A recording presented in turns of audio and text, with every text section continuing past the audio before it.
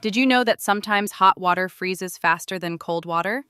Yeah, that breaks every rule of common sense.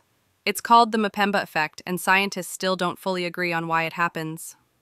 But here's what we do know. Back in the 1960s, a Tanzanian student named Erasto Mpemba noticed that his hot ice cream mixture froze faster than the cold one. At first, people thought it was a mistake, until physicists started replicating it in labs. One theory?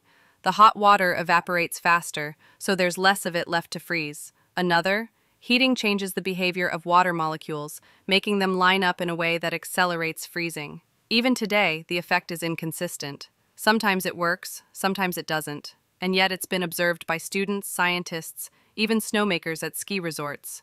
So, can hot water really freeze faster than cold? Yes. But why does it? That's still one of physics' coolest mysteries.